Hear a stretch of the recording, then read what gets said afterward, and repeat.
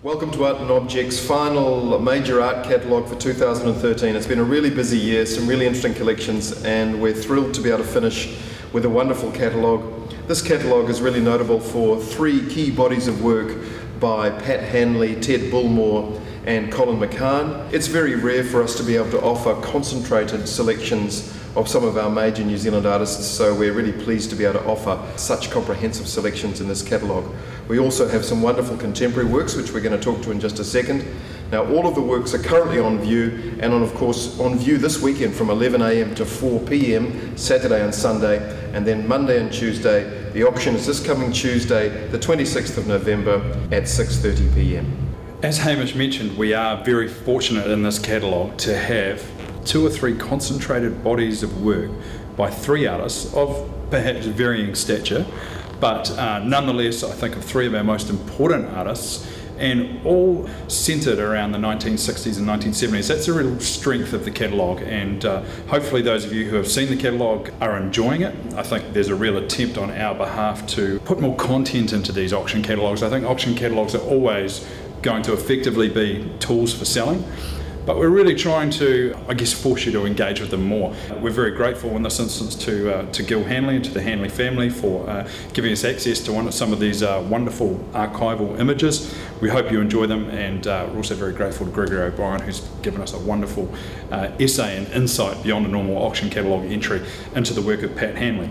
I'll start, I think, with Colin McCahon. I think we're really lucky in this sale to have you know four or five McCahons, which I think are testament to really the one constant in McCahon's work. There's so many diverse bodies of work and uh, the artist seems to move so so quickly. But really at the heart of McCahon's practice right throughout his entire oeuvre is the land is the New Zealand landscape. This beautiful little work here from 1978-79 comes from a series of about 20 paintings called The Truth from King Country Load Bearing Structures. The artist packs one heck of a punch into this really concentrated little painting. I think the work gets its, its strength from the darkness and the monumentality of this T structure here, this tower cross, um, almost as ancient as civilization itself, sort of transposed onto the king country landscape. What I love about this painting so much is that despite the fact it's so small, McCahon just visibly pours over the surface. And you might not think of McCahon as the most beautifully finessed and detailed painter, but I think if you look closely at this painting, it might change your mind.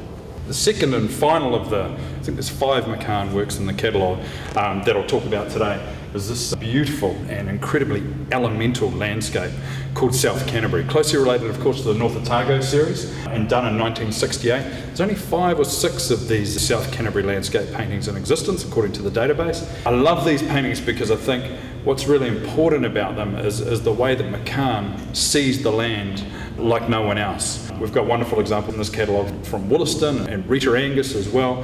And I think you look at them all together, you get what's truly unique and what's truly special about McCahon's work. That stripping all that is superfluous from the land, that breaking it down to its bare bones, to its bare essentials, so that all you have left really is just the landscape in its purest form.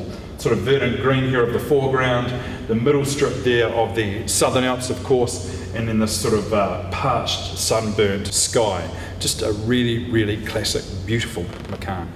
Ted Bullmore's journey from New Zealand of the 1950s, the post-war years, to swinging London in the 1960s uh, has resulted in one of the most extraordinary bodies of work uh, I think that has been produced uh, in New Zealand art history. Bullmore began life uh, as an artist. He was also a really great rugby player and his early fame was as a rugby player on the playing fields of New Zealand. But he began his artistic life as quite a traditional and highly skilled easel painter. And the earlier work in the catalogue, Yasuko, is a classic example of the early phase of Bullmore's production.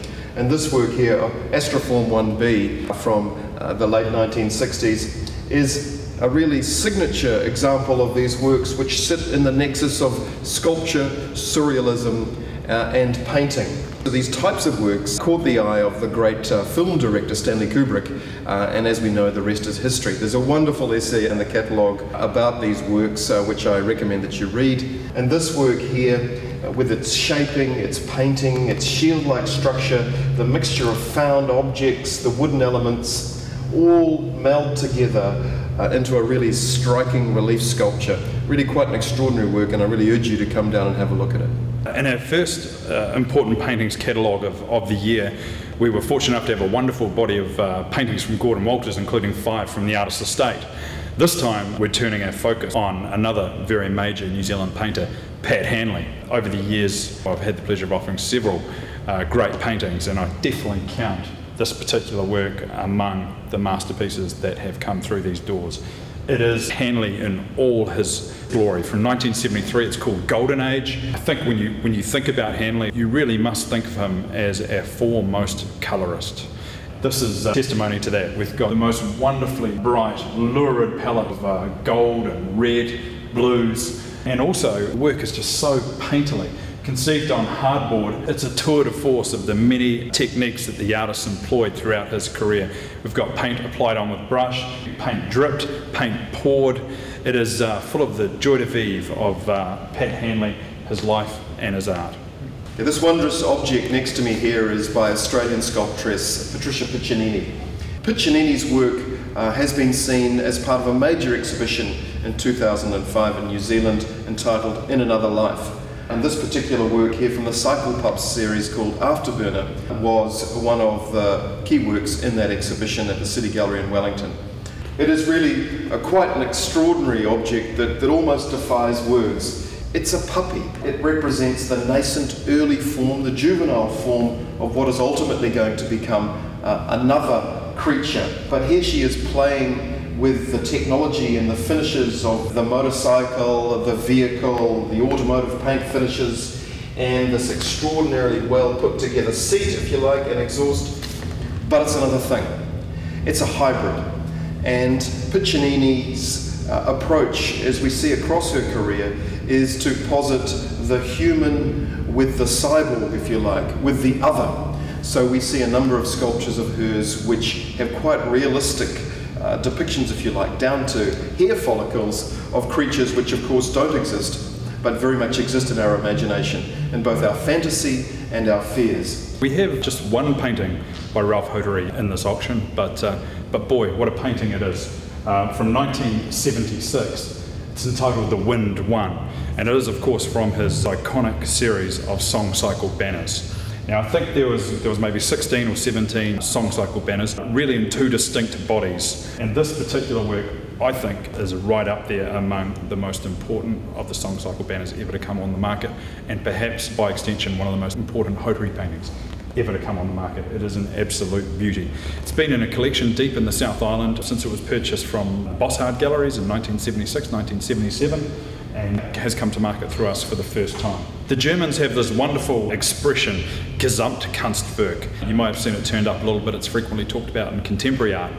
But this is really, I think, uh, attempt from the mid 1970s to realise that lofty ambition of, of Gesamtkunstwerk or the total artwork, an artwork that would be more than just painting, an artwork that uh, might occupy a space, might occupy a given moment in a way that a simple framed painting cut off from the world can never do. These particular works take their inspiration from the poetry of Bill Manhire. One of the key things we think about when we think about Ralph Hotere is obviously his collaborative work with New Zealand poets. They were designed as a backdrop for a performance at the Sound Movement Theatre. In a domestic environment, they do get the most wonderful sense of movement through them. When the wind just catches them lightly, they positively just uh, jingle and dance like a performance in themselves in this, this beautiful painting, I think the artist has come as close as possible, perhaps in New Zealand art history, to create a work that transcends mere painting um, into elements of performance, poetry, song, and dance. This pristine and fascinating canvas by Rick Killeen from 1976 really stands at the crossroads of the artist's career. Not much more than a year later, the cutouts emerged, one of the most distinctive and unique bodies of work in all of New Zealand art, we will have all seen them. There's one in this catalogue. Now, the first of the cutouts included a mixture of striking insect forms and abstract shapes in black and red, very much pared back. A year earlier, we can anticipate the cutouts arriving with this canvas here, Peabo. It's a work of great humour, but also great knowledge and awareness of both modernist practice and contemporary art movements as they were in the mid 1970s. We see here in this extraordinary eye popping visual grid the influence of pop art from the 1960s, but also, of course, we see Gordon Walters and his Marquesan and Polynesian forms coming through. At the same time, we see these wonderful insect forms, the fly, the butterfly, and the bug there, that we have come to so readily associate with, with Rick Killeen's work. And wrapping them together to find meaning can be a little bit difficult. And I think the title Peabo is a clue for us. Peabo, along with Raid and Mortein, you'll remember the ads from back in the day, was an insect spray. So here we have, I think, Killeen humorously suggesting that one form of image making, pure abstraction, is perhaps about to erase uh, the more traditional realism and detail of the illustrated form.